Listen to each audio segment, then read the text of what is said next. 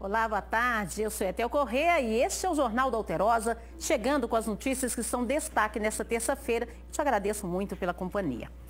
A volta do feriado prolongado foi violenta nas estradas que cortam o estado. Apenas em dois acidentes que aconteceram nas BRs 381 e 040, no sentido Belo Horizonte, nessa segunda, oito pessoas morreram. O caso mais grave, com mais vítimas, foi em Itabirito, na curva do Ribeirão do Eixo. Um caminhão carregado com 10 toneladas de melancia invadiu a contramão e houve a batida que envolveu dois carros.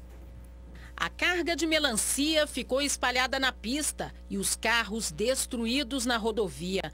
Segundo a Polícia Rodoviária Federal, o caminhoneiro que seguia no sentido Belo Horizonte, Rio de Janeiro, foi quem causou o acidente.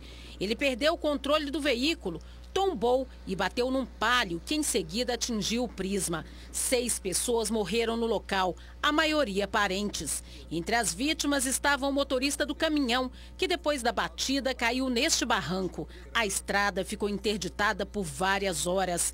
Quatro pessoas escaparam com vida. Dois homens e uma mulher receberam atendimento dos socorristas da Via 040 e foram levados com diversos ferimentos para este hospital particular em Belo Horizonte. A quarta vítima foi levada direto para o pronto-socorro do Hospital João 23 com um corte na perna.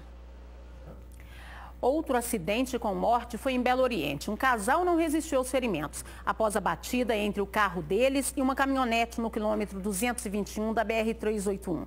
Segundo a Polícia Rodoviária Federal, nos quatro dias da Operação Nossa Senhora Aparecida, foram registrados 154 acidentes nas rodovias federais que cortam Minas. Foram 207 feridos e 15 mortos. 6.394 pessoas foram multadas por excesso de velocidade e 1.018 por ultrapassagem passagens proibidas, que a gente sempre vê, né, gente? Cinco motoristas ainda foram presos por dirigirem embriagados.